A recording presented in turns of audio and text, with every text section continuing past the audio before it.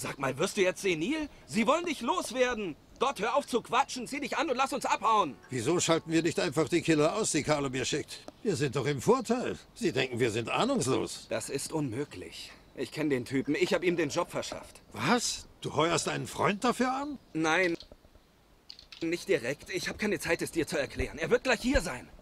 Gut, warte hier. Ich ziehe mich an. Verdammt, so spät. Sie sind da. Oh, scheiße. Henry darf mich hier nicht sehen. Wir müssen uns verstecken. Schnell. Okay, wohin? Entkomme, Leo. Lass dich nicht erwischen. Wo geht's hier hin? Geht's hier irgendwo durch? Okay, da schon mal nicht. Oh Gott. Ähm, alles klar. Vielleicht passen wir hier rein. Bist du irre? Ich soll mit dir da rein? Ich bin keine Schwuchtel. Ich sperre mich nicht mit einem anderen Kerl in den Komm, Schrank rein mit ein. dir, Leo. Los jetzt. Hey, geh mir von der Pelle. Rück mal ein Stück. Nein, rück doch du. Psst, Schnauze. Hey, hoffentlich ist das deine Knarre. Ins Maul. Ach Gott, sehr intelligent. Oh. Was soll denn das? Hey, Henry. Vito. Ist das dein Freund? Nein, der will nur sein Jackett aufhängen. Okay, los, raus mit euch. Sonst kommt ihr da drin noch auf dumme Gedanken. Okay. Hinsetzen. Was läuft hier, verdammt? Hör zu, Henry. Leo ist ein Freund von mir, okay? Er hat mir im Gefängnis praktisch das Leben gerettet. Ohne ihn wäre ich nicht in der Familie. Ich wusste nicht, dass Eddie ihn loswerden will. Ich musste ihn warnen. Das musst du verstehen. Ja, aber du musst verstehen, dass ich mir keine Fehler leisten kann. Wenn ich Leo laufen lasse, denkt Falcone, ich habe ihn absichtlich beschissen und legt mich... Henry, ich bin dein Freund. Ich würde dasselbe für dich tun. Das hat nichts mit Freundschaft zu tun, Vito. Hier geht's ums Geschäft. Und wenn ich versage, bin ich fällig. Ich kann ihn nicht gehen lassen. Ich habe einen Job angenommen und muss ihn zu Ende bringen. Wenn du nicht zusehen willst, kannst du gehen. Keiner erfährt, dass du hier warst. Also keine Sorge. Hör zu. Leo hat mir erzählt, dass das alles nur wegen Falcones Drogengeschäften passiert. Er verstößt gegen die Regeln und will alle Mitwisser beseitigen. Na und? Die einzigen Menschen, die diese Regeln nicht brechen, sind Frank Vinci und Leo. Und die haben mich nicht auf ihrer Lohnliste. Vito, vielen Dank für alles. Aber geh jetzt besser. Ich hatte ein langes, gutes Leben. Riskiere nicht Kopf und Kragen, nur um einem alten Mann noch ein paar Jährchen zu verschaffen. Nein, Leo. Es muss einen Ausweg geben. Vito, geh. Sorry, Vito. Keiner erfährt, dass du hier warst. Pass auf, dass du nicht gesehen wirst.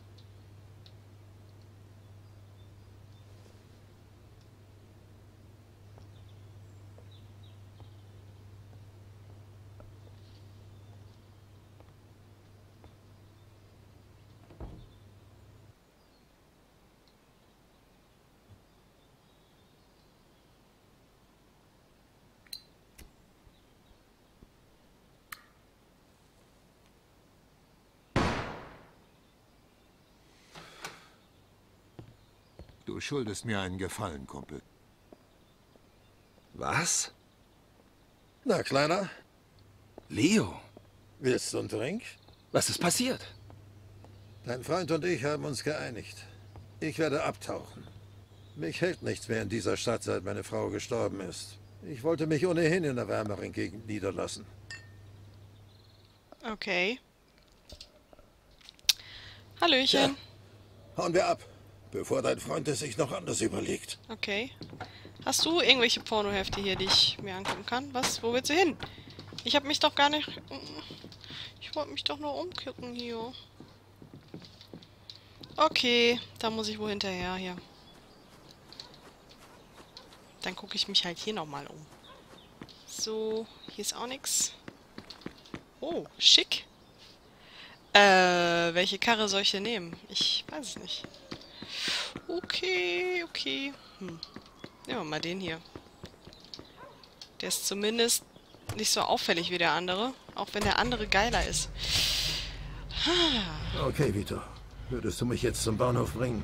Diese Stadt war immer gut zu mir, aber jetzt heißt es Abschied nehmen. Willst du etwa im Schlafanzug los?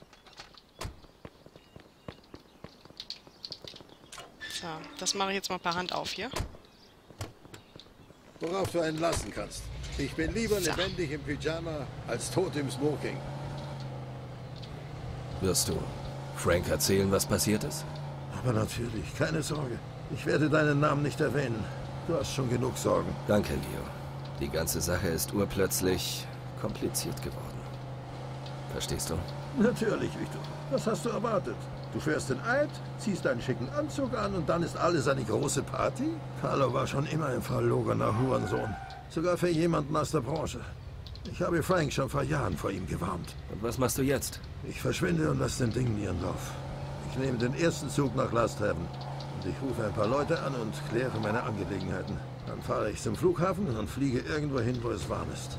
Morgen um diese Zeit liege ich irgendwo am Strand und trinke einen von diesen Fruchtdrinks mit einem Schirmchen drin. Eins ist klar, wenn Carlo mich tot sehen will, dann sollte ich nicht hierbleiben. Das wäre eine Einbahnstraße ins Leichenschauhaus. Ist das nicht übertrieben? Nein, ich wollte mich sowieso zur Ruhe setzen. Wenn du in meinem Alter bist, erscheinen all diese Auseinandersetzungen irgendwann sinnlos. Frank wird sich nie ändern. Er ist ein Streithammel. Heutzutage hört er nur noch auf die jungen Hitzköpfe, weil sie ihm sagen, was er hören will. Wenn er hinter Carlo her ist, kann er das auch ohne mich. Es tut mir leid, dass ich dich in diesen Schlamassel mit hineingezogen habe. Okay, hier ist es. Danke für alles, Vito. Versprich mir einfach, dass du nie wieder etwas so Dummes machst wie heute. Deinen Hals zu riskieren, nur damit ein alter Mann noch ein paar Jahre mehr hat. Versprochen, das nächste Mal sehe ich zu, wie sie dich abknallen. Hab noch ein schönes Leben, alter Mann. Okay, geh nach Hause. Tschüss, Curry. Ich gehe jetzt trotzdem aber nochmal hier gucken. Kann ich mit hier rein? Ja. So. Gucken wir uns mal um hier. Tag. Haben Sie Heftchen? Keiner hat Heftchen. Okay, da ist der Bahnhof. Komme ich hier auch durch? Ah. Da komme ich sogar auch durch. Okay, hier ist... Was ist das hier? Nix, du stehst hier. Tschüss. Ganz unauffällig übrigens. Dich wird hier bestimmt keiner erkennen mit deinem Hugh Hefner Bademantel. Was hast du hier? Oh. Sie werden nicht mehr aufstehen können. Gut sehen Sie aus, Mr. Scaletta. Ach, ich, ich, mich kennt hier aber auch irgendwie jeder schon, ne? So, gibst du mir jetzt ein Würstchen oder was? Danke. Sehr nett. Komm, Bitte sehr, Mr. Scaletta. das ist aber noch ein riesen Danke. Hotdog. Oh, in, mit einem Haps ist der Mund. So, ich gehe jetzt Mein. Fehler, Sir. Entschuldigung. Da, da, da, da, da, da. Auch wie immer, ich gucke mich hier um. Nee. Nicht, dass gleich jemand meckert. Tag. Entschuldigung. Gibt's doch nicht. Hier hat keiner Heftchen für mich. Ach, ich will da jetzt auch nicht drüber klettern, weil dann fährt der Zug los und dann, ne? Zack, bumm. Tok, tok, tok. Obwohl, hm, hier kann ja eigentlich nichts passieren, ne?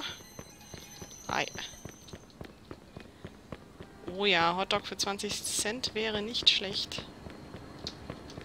Auch kein Heftchen. Kann ich hier rein? Nein. Zug kapern ist nicht drin.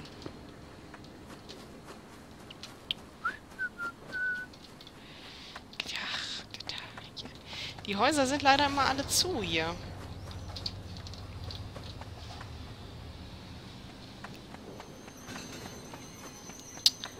Schade.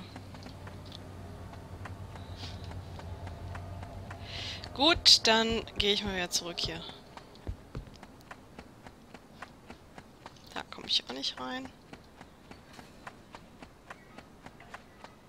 Very, very schade. Tok, tok, tok, tok, tok. Ist das hier? Auch nix. Ah.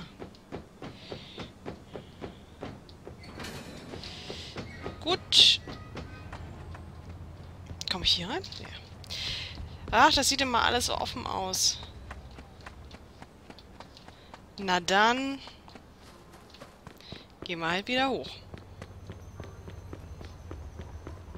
Oh, tut mir leid, Sir.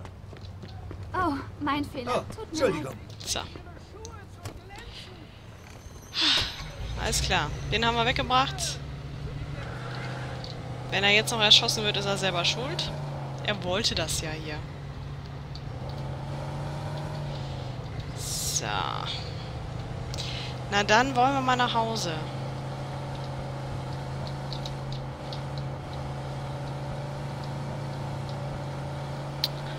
Hm, hm, hm, Ich bin falsch abgebogen. Entschuldigung. Ja, komm. Ich ja. freiwillig aus. Tag. Das wird was kosten, Sir. Kennen wir ja schon. Ich hab's ja. Danke. Sehr nett. Ich sammle die Dinger übrigens. Danke, Officer.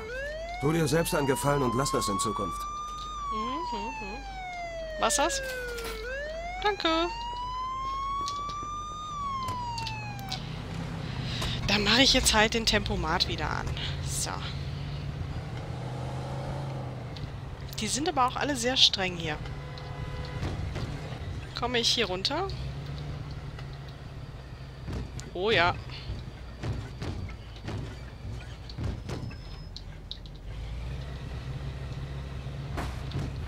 Uh, da bin ich vorne aufgesetzt. Der gute Wagen. Aber naja, ein bisschen schont es immer. So, einmal die Abkürzung.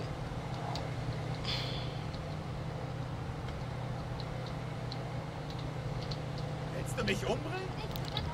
War das der Polizist, den ich umgehauen habe? Ich glaube ja. Aber er ist zum Glück noch nicht ausgerastet. Das ist aber auch eine doofe Stelle hier. So. Jetzt fahren wir nach Hause. Äh, da. Sag, ich muss auch hier immer die Einfahrt suchen. Hey, willst du mich über den Haufen fahren? Ja, wenn du vor meiner Einfahrt stehst. Alles klar. Das haben wir. Franny, was machst du denn hier? Vito, was soll ich nur tun? Ich kann nicht nach Hause. Ich will ihn nie wiedersehen. Was ist passiert? Wen denn? Eric, Dein Mann? Wieso? er trinkt, feiert dauernd wilde Partys und er... Schlägt er dich?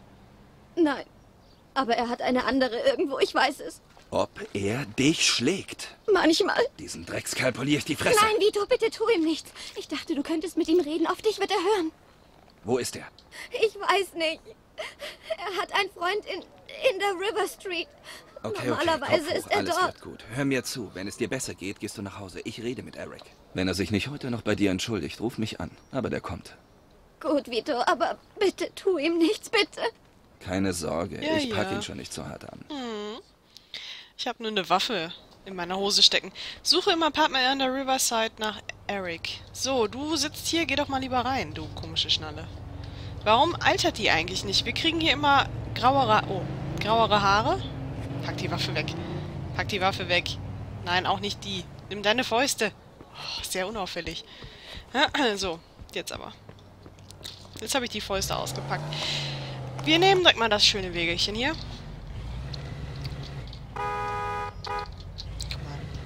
Die Sau hier bewegt sich noch nicht mal. Ah, ich dachte erst, ich nehme die Abkürzung, aber ich lasse es lieber. Wahrscheinlich wäre es auch keine Abkürzung, äh, Ab Abkürzung. Keine Abkürzung gewesen. So. okay. Ja, ja, ja. Die Autos sehen hier übrigens verdächtig nach Mafia 1 aus. In dem Viertel. Ach, praktisch. Ich habe ja den Tempomat noch drin. Oh, wie schön ich da um die Kurve gefahren bin. Man muss sich ja auch mal loben zwischendurch. So, hier rum.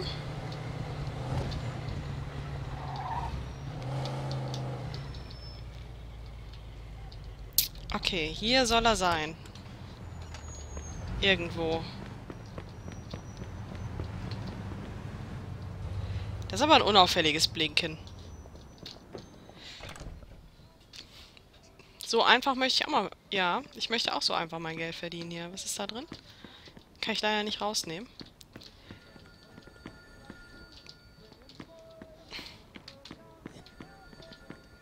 Okay. Hier wird gefeiert. Und wahrscheinlich müssen wir auch genau dahin, wo die Partymusik hierher kommt. Hi. Na, was geht? Was geht denn bei euch? Anscheinend nicht viel. Zumindest redet keiner mit